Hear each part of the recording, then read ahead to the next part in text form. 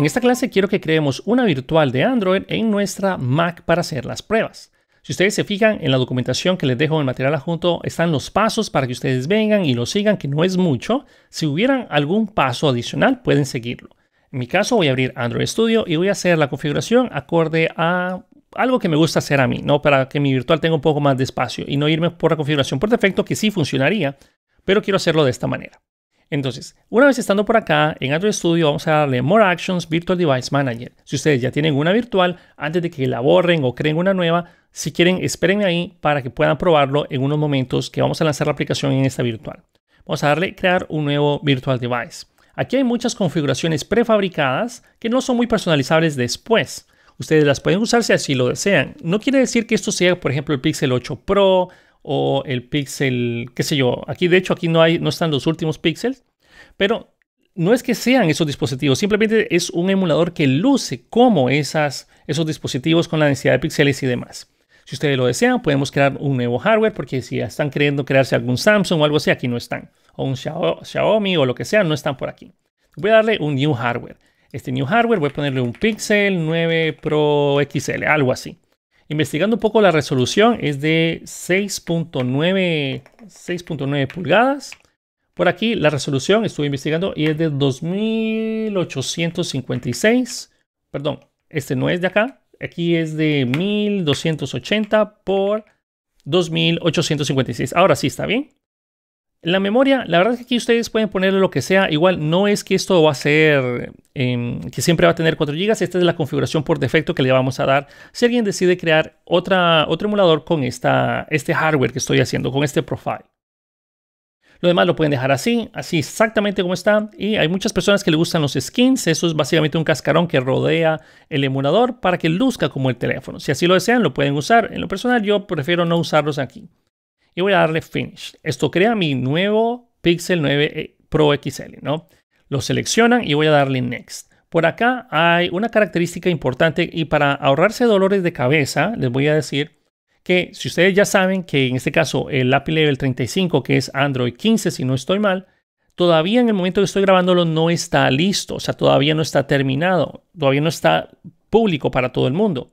Entonces, hasta que no sea público, no usen esa versión. Pues quedémonos en mi caso con la versión API Level 34, que es la versión de Android 14, que sé que ya está disponible, que ya la puedo utilizar. Entonces voy a quedarme con la versión 14, a pesar de que yo sé que no es la última, bueno, la última en este momento, pero en cuestión de un par de meses ya va a ser la 15. Pero me voy a quedar con eso porque la aplicación de Expo me está dando problemas en la versión beta o el canal beta de Android. Entonces voy a darlo o quedarme en la versión 14.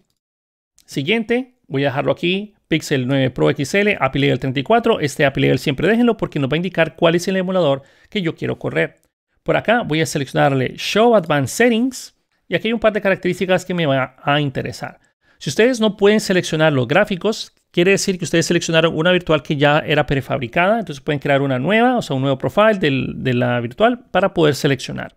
En mi caso, yo sé que mi computadora tiene una tarjeta de video independiente, entonces voy a seleccionarlo por hardware. Si ustedes no están seguros, déjenlos en automático. La parte de la RAM, pueden asignarle tanta RAM como ustedes pretendan. Por ejemplo, si tienen 16 GB en su computadora, perfectamente pueden dejarlo en 4 o si tienen más, pueden ponerle un poquito más.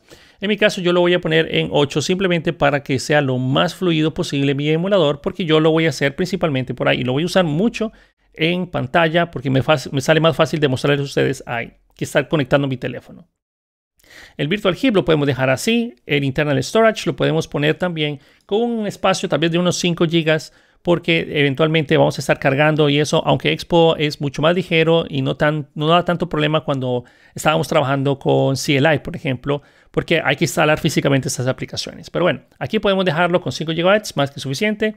No le voy a conectar ningún eh, eh, memoria o disco duro externo o almacenamiento externo, ni tampoco le voy a poner ningún skin, que eso es totalmente opcional. De regreso, miren las opciones que yo puse, solo por si acaso. Recuerden, pueden ponerlo con 4 o 8 GB de RAM dependiendo de cuánto ustedes dispongan. Voy a darle Finish y luego pueden darle aquí en Play para lanzar la primera vez nuestro simulador. Y aquí lo tenemos en un costado. Recuerden, esto no significa que sea el Pixel 9, simplemente es un teléfono que luce con las dimensiones de ese Pixel. Que de hecho el 9 Pro tiene 16 GB de RAM, o sí, 16 GB de RAM creo, y pues es eh, yo no pretendo darle 16 GB de RAM a mi computadora o este virtual, pero aquí está funcionando de la manera que yo esperaba. Ok, podemos cerrar Android Studio. Esta virtual si quieren la pueden dejar abierta o la pueden cerrar, ya les voy a demostrar. Y por aquí ahora lo que nos pide es que lancemos nuestra aplicación y luego toquemos la tecla A para abrir el emulador de Android. Entonces vamos a regresar a la terminal. De hecho, yo la cerré por alguna misteriosa razón. Y naveguemos a la carpeta donde teníamos nuestro proyecto de React Native 02 Testing. Presionemos Enter, npm, Start. Ok, para que aparezca nuestro código QR. Y por aquí ahora ya podemos tocar la tecla A para abrir nuestro Android. Esto va a realizar la inyección de la aplicación y deberíamos de ver aquí la aplicación corriendo de nuestro Hola Mundo. Bueno, nuestro Hola Mundo no, nuestra aplicación que está por ahí. También noten que aquí hay un shortcut que podemos presionar Command M para mostrar más características de la aplicación. Por ejemplo, Command M. Y aquí yo puedo reiniciarlo, recargarlo, irme al home y hacer pruebas, ¿no?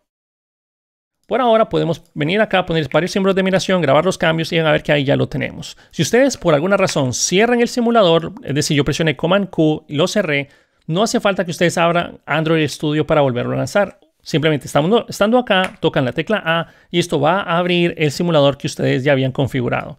Ahora, aquí pueden pasar varias cosas. Uno es que si ustedes vienen y graban los cambios y no se ven reflejados como lo que acabo de pasar, ¿ven?